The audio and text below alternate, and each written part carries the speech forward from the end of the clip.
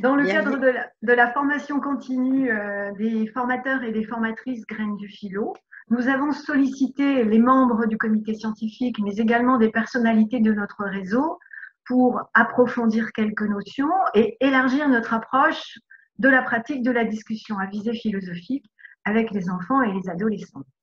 C'est dans ce cadre que nous présentons le témoignage de Myriam Mécoire. Myriam est vice-présidente des Francas du Finistère.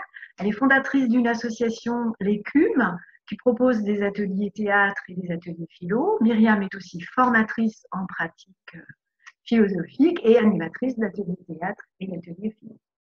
Myriam, merci beaucoup d'avoir accepté de répondre à notre sollicitation.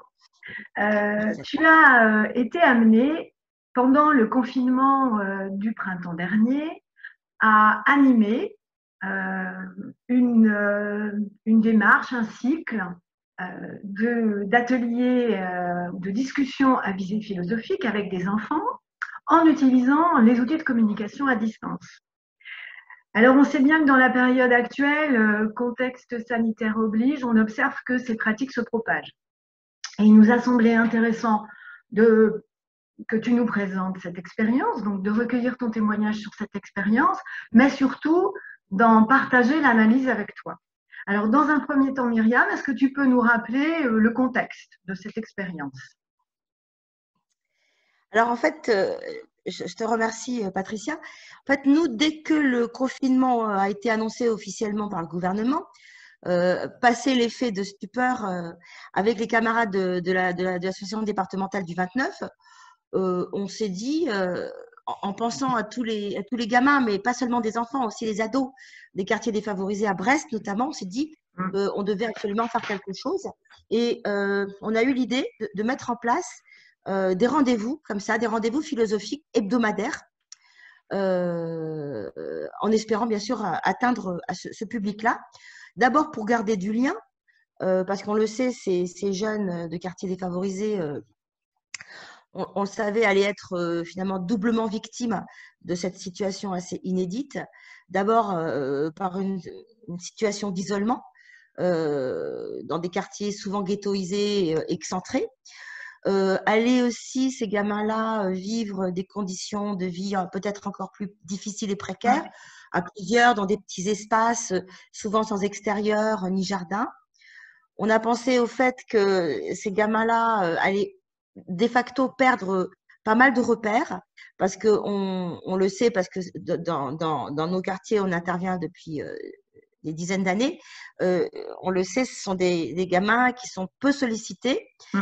Euh, je, dirais que ce n'est pas uniquement euh, le cas pour les, enfants des quartiers défavorisés, mais grosso modo, la, la pratique philosophique, elle commence à fleurir effectivement à l'école et dans la cité. Elle n'est pas tout à fait encore arrivée dans le cœur des foyers de notre beau pays, nous l'espérons.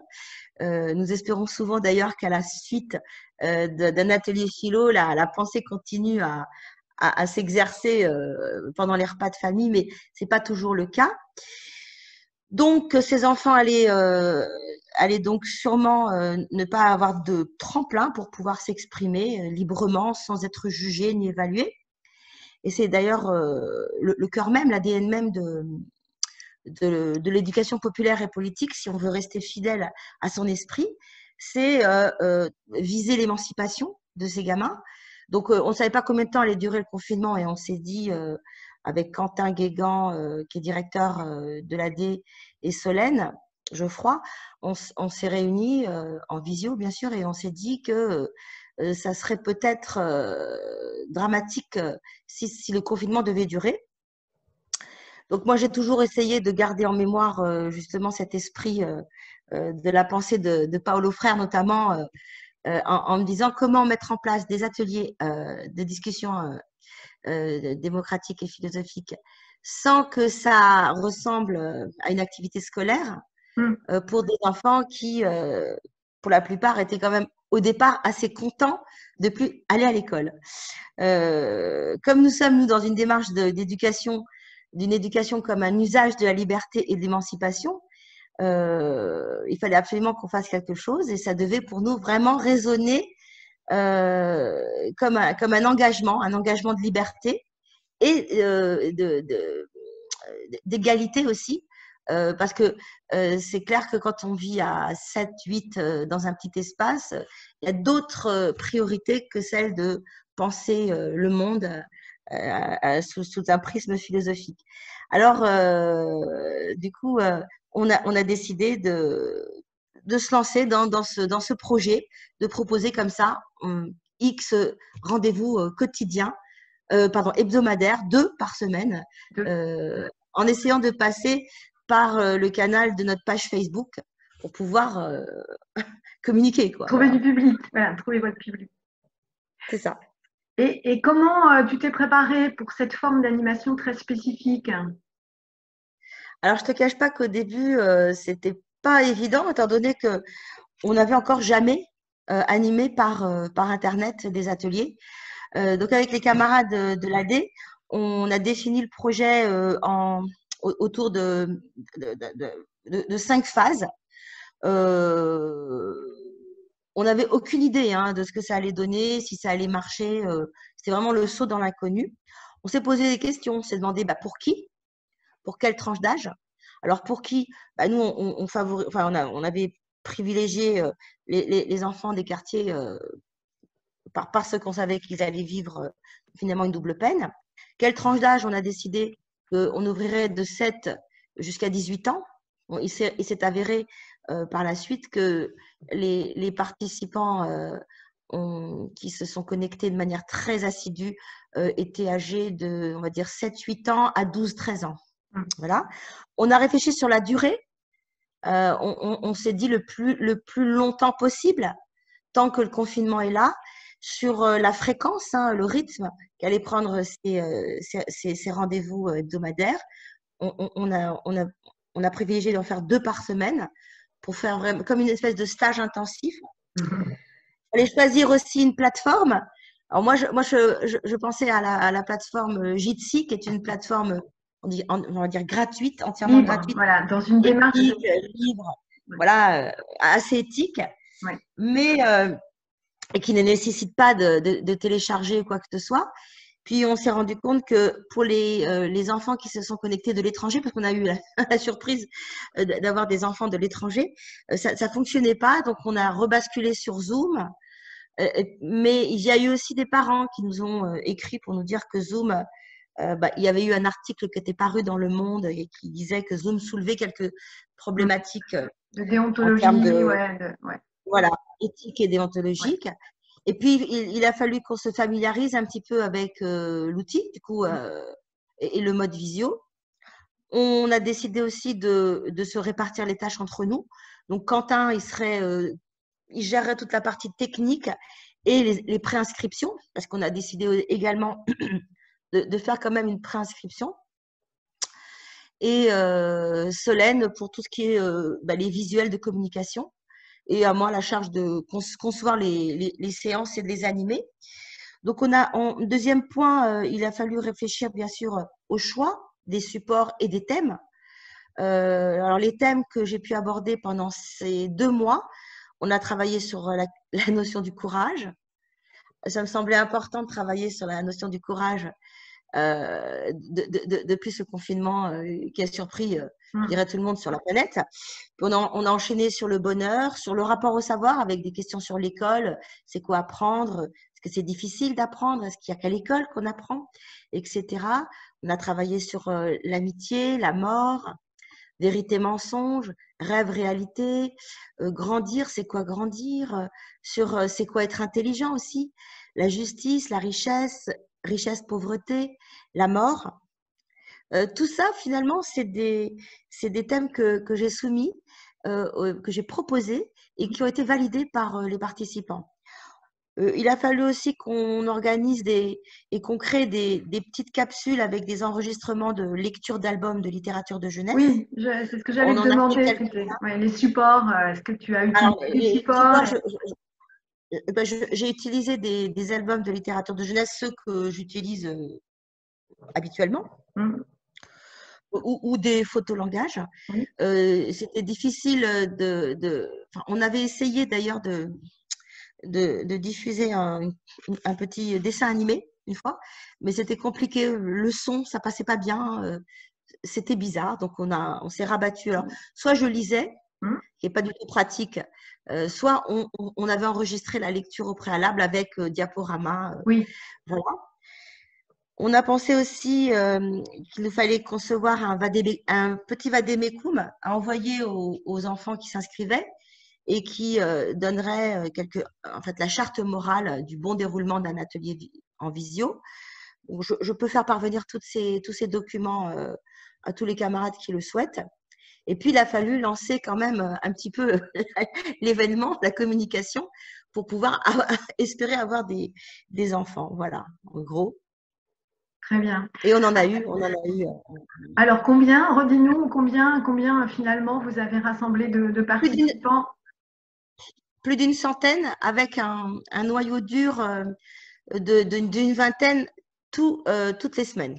D'accord. Alors un noyau, un noyau dur d'une dizaine, quinzaine de, de jeunes euh, qui vraiment nous ont suivis tout au long. Et puis euh, ensuite, on avait des, des, gens qui gravitaient, euh, qui revenaient, qui revenaient pas pour X raisons. Mais on a quand même réussi à fédérer un noyau dur. Et ça, ce qui fait qu'au bout d'un mois et demi, deux mois, oui. il, y avait quand même une forme de familiarité entre nous.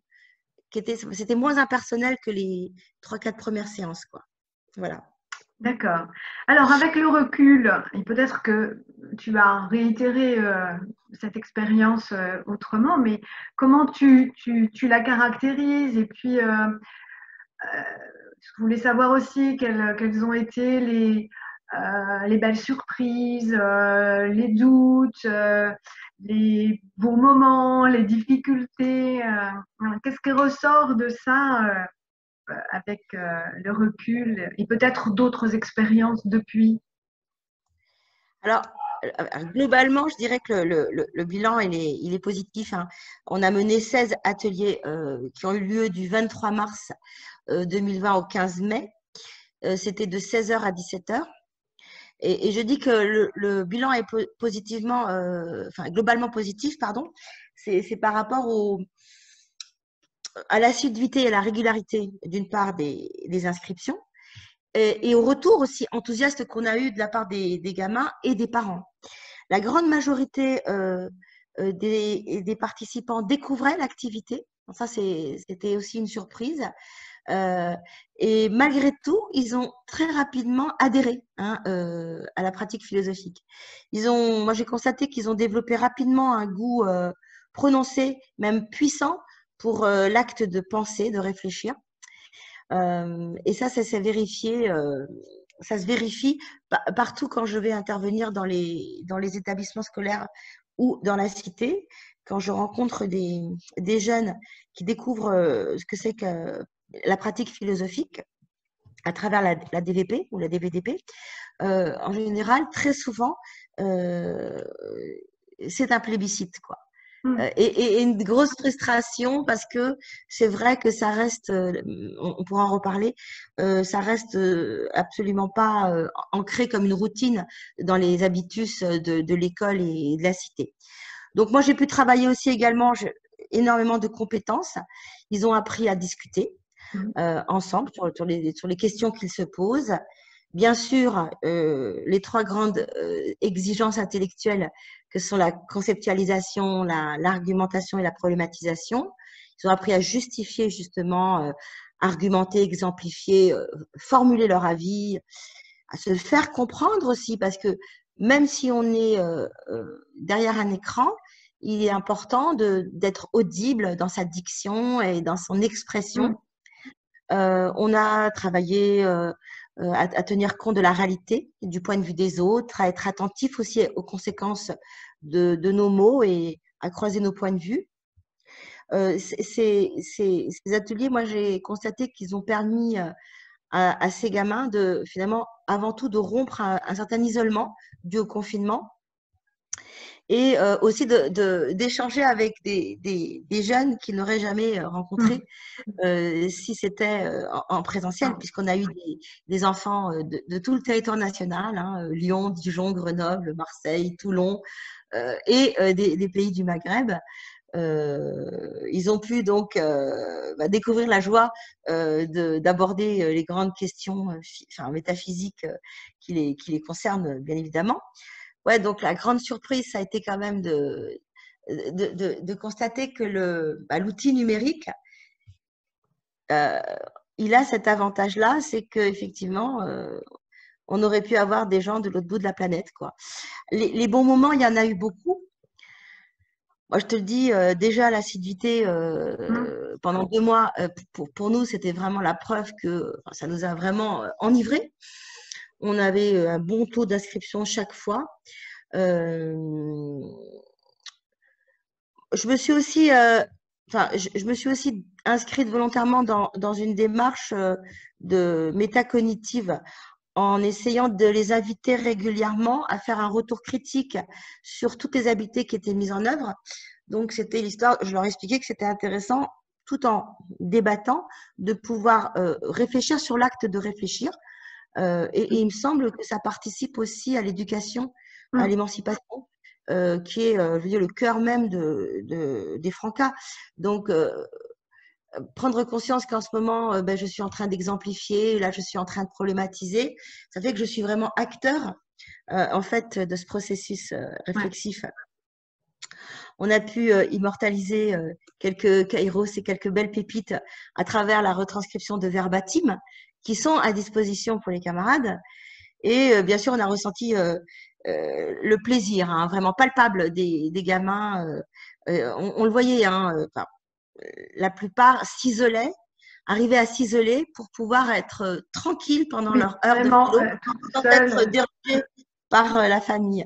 et pendant et, à la fin, lors des petits moments de clôture, je leur soumettais d'autres thèmes et on votait en concertation pour savoir quel est le thème qu'on allait aborder la fois, la fois suivante. Donc, on a vraiment eu moi, j'ai pu constater vraiment des progrès euh, notables dans la maîtrise de la langue, dans l'enrichissement du lexique. Mm. Très rapidement, je, me suis rendu compte que les gamins n'avaient pas peur d'utiliser non seulement des, noms propres de philosophes, parce qu'on faisait appel des fois à des contenus savants en expliquant que ce n'était pas un cours ni une conférence, mais que on pouvait aussi une ressource, comme une ressource. Voilà, une, ressource, un support.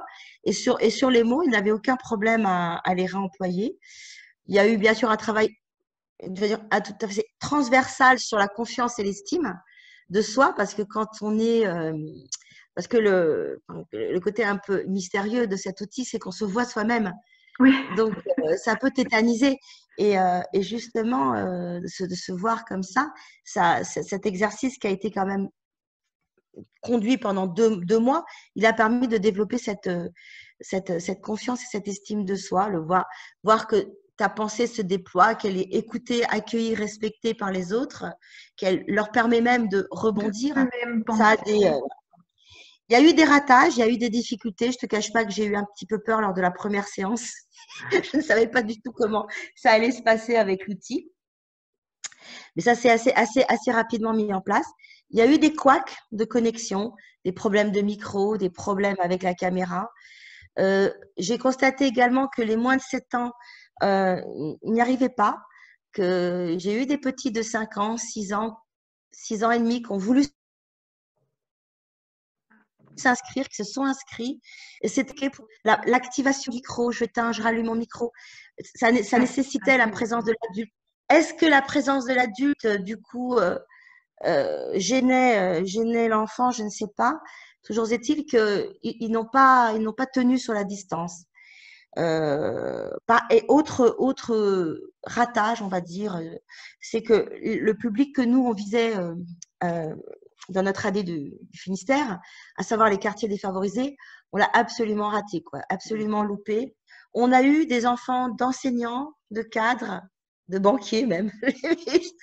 Eh oui, de banquiers, ma chère et, et, euh, euh, impossible. Malgré, euh, on, a sollicité les, structures d'accueil et les associations. pour, faire, pour relayer la proposition? Par, partenaires, voilà, les centres de loisirs, pour essayer d'aller par mail ou par téléphone joindre les gamins. on en a eu un ou deux, pas plus, quoi. Hmm. Et puis sinon, les, les, problématiques intrinsèques à l'outil, c'est que quand tu as un écran avec 20 petites capsules d'enfants, c'est très compliqué de pouvoir percevoir tout ce qui est de l'ordre du non-verbal, un rougissement, un, un début de un froncement de sourcils, voilà, un soupir, un, inconfort. Et tout cela, je trouve, est dommageable pour l'observation de l'animateur et pour l'étayage aussi. Euh, il y a aussi une dimension importante, c'est qu'il n'est pas très facile, en tout cas peut-être que moi je ne suis pas douée, mais euh, pour moi il était très compliqué d'utiliser mon protocole habituel. Si tu veux, mes petits objets qui sont des mmh. supports didactiques facilitateurs, de, pouvoir noter en même temps euh, sur un tableau. Euh, je sais qu'il y en a qui arrivent à tout faire en même temps, mais déjà se concentrer sur qui demande la parole et écouter ce qu'ils disent. Pour moi, j'ai trouvé que c'était très difficile de pouvoir en même temps euh, avoir un tableau numérique et noter des étymologies ou des choses comme ça. Euh, et puis finalement, les, les échanges, moi je dirais que malgré tout, ils sont amputés dans le virtuel, ils sont amputés du contact humain. Voilà. Et enfin, euh, dès le déconfinement le 11 mai, avec la reprise de l'école, on a eu une chute et, tout à fait logique des inscriptions qui a conduit à arrêter le, protocole, enfin le, projet. Voilà. Euh, selon toi, euh, quelles sont les, conditions indispensables à réunir pour que euh, une discussion sous cette forme soit la plus réussie possible, avec toutes les limites que tu évoquais, et notamment le fait d'être privé d'un certain nombre d'outillages qu'on utilise, et puis le fait aussi de ne peut-être pas pouvoir se saisir de toute une communication non verbale à travers le corps, les expressions, mais au-delà de ça, euh, est-ce que toi, tu as repéré vraiment euh, des conditions indispensables à mettre en œuvre, en amont euh, et puis pendant Oui, alors je dirais que pour les camarades qui souhaiteraient, je pense aux, jeunes animateurs qui souhaiteraient se, lancer, on, ne sait pas ce que nous réserve le monde.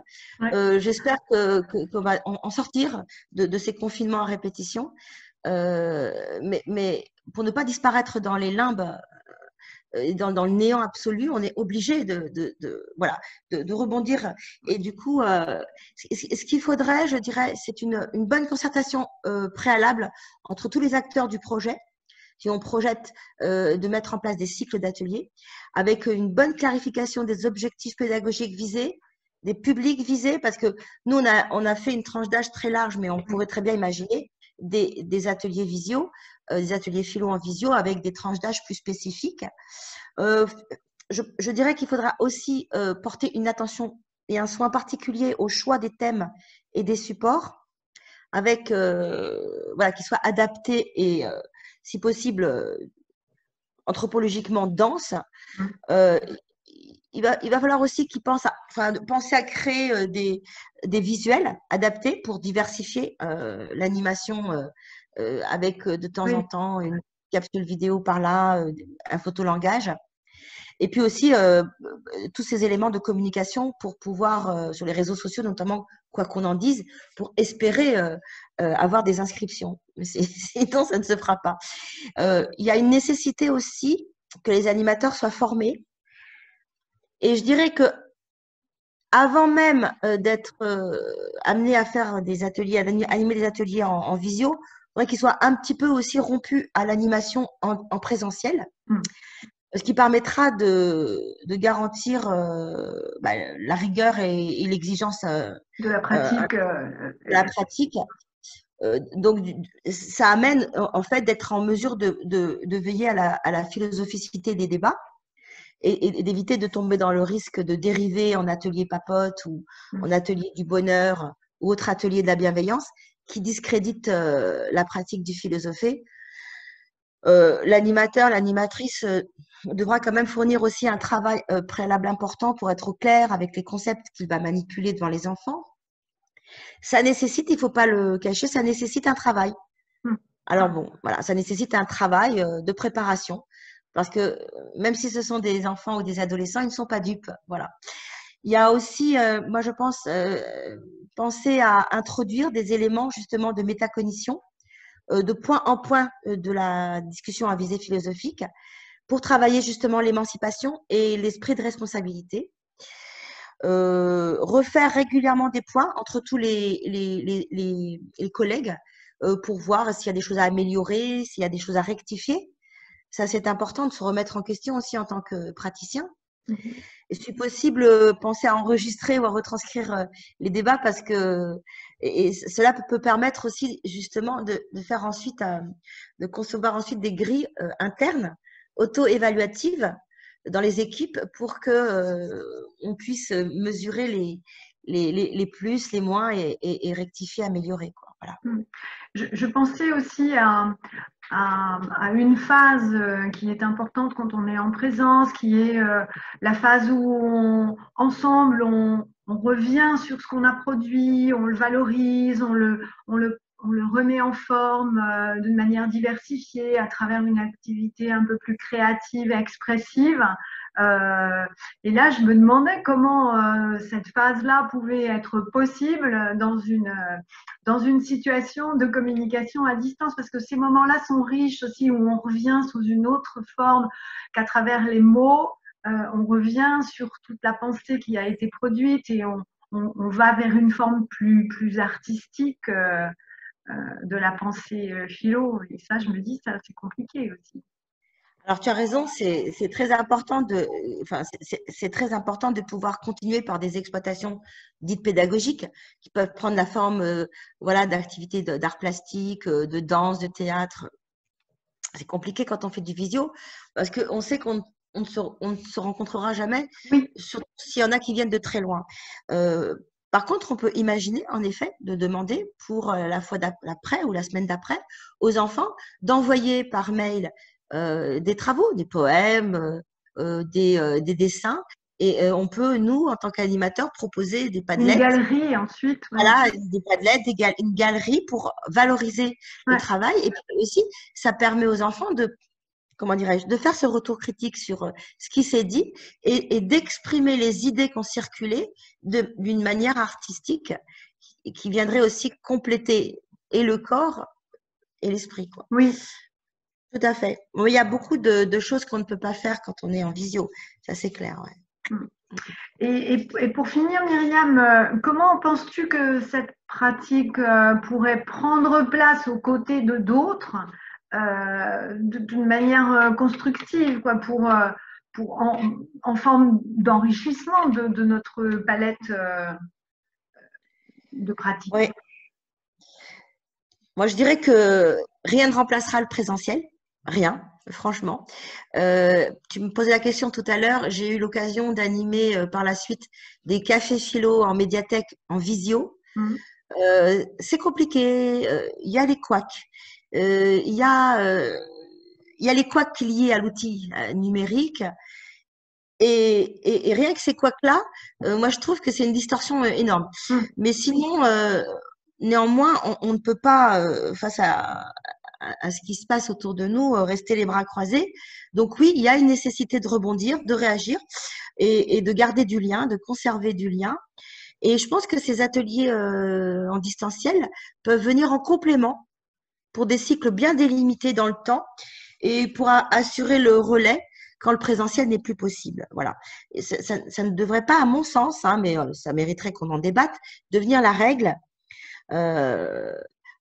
Mais euh, effectivement, en période de pandémie ou pour permettre à des enfants euh, qui ne peuvent pas se déplacer, qui habitent en zone rurale ou qui sont malades, qui sont très loin ou qui viendraient d'autres pays, oui, ce sont, des, ce sont des, des formules qui peuvent venir en complément. En tout cas, nous, ces deux mois ont, vraiment permis de garder du lien, mais pas avec les enfants qu'on avait au départ ciblés. Quoi mais ça restera de toute façon euh, une expérience assez, assez inouïe. Euh, moi, moi, je pense que oui, ça peut venir en complément des, des autres activités. Alors, c'est plus facile à mettre en œuvre quand c'est euh, des ateliers philosophiques, mais quand je pense à toutes les autres animations qu'on propose au Franca, euh, c'est clair que tout ce qui est sportif, euh, voire même théâtre, théâtre, c'est voilà artistique et culturel, c'est mmh. compliqué. C'est vrai que pour la pour la pratique du philosophie, ça, peut être un pis-aller, on va dire. Voilà. Mais bon, euh, n'oublions pas quand même qu'il euh, y a euh, une, fracture socio-économique et, numérique qui n'est pas virtuelle, celle-là, elle est vraiment réelle. Tous les foyers euh, n'ont pas plusieurs ordinateurs. Donc, euh, si c'est l'ordinateur du papa ou de la maman qui est en télétravail, l'enfant ne peut pas euh, se connecter. autre chose, l'enfant n'a pas forcément une chambre à lui, un espace, à lui où il va pouvoir se retrouver au calme. Et, moi, je n'ai pas vécu ça parce que, enfin, nous n'avons pas vécu ça parce qu'on a eu que des enfants de, de oui, de, de milieux, favorisés. Bon, ça c'est un enseignement hein, et on, on, a vraiment décidé euh, d'essayer de, vraiment de trouver un moyen pour, euh, pour que ça ne se reproduise plus. Euh, moi, je pense que quand même ces ateliers doivent rester exceptionnels mmh. et mis en place que dans des situations hors normes un peu comme celle qu'on vit actuellement. Je ne sais pas ce que tu en penses, Patricia. Voilà. Ben, je, je, je, sais que nous sommes plusieurs à avoir expérimenté, euh, expérimenté euh, cette forme-là de manière très ponctuelle et effectivement presque contraint. Alors, en formation, notamment dans, le cadre de formation, puisque aujourd'hui, on a souhaité assurer un peu la continuité de des formations, des cycles de formation, donc euh, avec aussi des temps d'échange, des temps de réflexion, des temps de, discussion. Euh, mais euh, oui, on est tous à peu près d'accord au sein de, notre réseau pour dire que on ne peut pas tout construire de cette manière-là, d'autant que notre mouvement se fonde aussi sur la rencontre, sur euh, tout, ce qui n'est pas euh, décrit euh, dans l'interaction entre les humains, qui fait la chaleur humaine, et, pour nous, ça, c'est un élément constitutif aussi de, des apprentissages, de la découverte de soi, de la découverte de l'autre. Donc, bien sûr, le, fait de poser ce, ce contenu-là dans notre formation de formateur et puis de s'interroger va aussi nous permettre peut-être de, de, de prendre la mesure de ce qui est intéressant, parce que tu l'as dit, hein, tu, as bien évoqué les points intéressants de, cette forme-là, euh, qui sont singuliers, qui sont, spécifiques à cette forme de communication. Donc, euh, à nous de, continuer à, réfléchir à comment ça se conjugue avec d'autres pratiques. Hein, euh, pour pas foncer tête baissée euh, sur, cette forme-là qui aujourd'hui, tu, tu, le vois bien toi aussi, euh, se propage. bon, avec tout un tas de propositions qui fleurissent, qui vont jusque dans les familles, bon, et qui sont qu'on peut qu'on peut on peut questionner. nous, on s'est un petit peu vengé à, la sortie du confinement avec euh, les camarades du 29. On a, on a mis en place le protocole, enfin notre mouvement, euh, notre, notre action euh, La rue est à nous. Et pendant tout le mois de juillet et le mois d'août, avec deux barnums, on, a sillonné les quartiers de, Brest et j'ai participé humblement aux côtés de mes, mes camarades, mais voilà, pour quelques ateliers philo à l'arrache, comme ça en bas des, en bas des tours, euh, allez, viendez ma bande. Et, voilà. Alors, voilà. Des fois, euh, des fois, il y avait du monde, des fois, il y avait personne. C'était frustrant, mais c'était, c'était, c'était le, le, défi, quoi, on va dire. Et du coup, ces, ces enfants-là, on les a quand même captés au bout du compte, pas pendant le confinement, après confinement, euh, pendant l'été.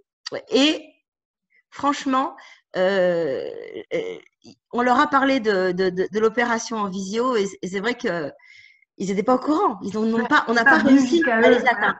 Tu sais qu'on n'avait même pas le droit de sortir pour coller des affiches. Qui les aurait pu Puisqu'on était totalement. Euh, c'était assez. Euh, waouh C'était assez fou, quoi. voilà. Bien, bah, écoute, il me reste à te, remercier euh, d'avoir euh, pris le temps de partager avec nous ce, témoignage. Nul doute que euh, dans tous nos travaux à venir, et on espère que notre réseau aura l'occasion de se, retrouver physiquement en un lieu prochainement pour pouvoir remettre toutes ces questions-là au, cœur de nos discussions et puis puisque ça puisse être réinvesti dans nos pratiques. Je te remercie beaucoup. Et puis, bah, merci à toi, euh, À très, très bientôt, Myriam. Bonne, euh, bonne continuation. Merci à toi. Merci beaucoup. Au revoir. Au revoir.